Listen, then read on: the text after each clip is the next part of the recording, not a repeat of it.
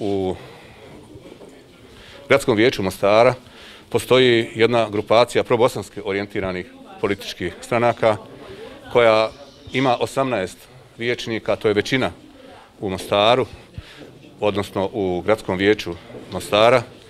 A, u okviru toga postoji kandidat koji je najlegitimiraniji od svih kandidata u okviru te grupacije, dakle tog probosanskog bloka.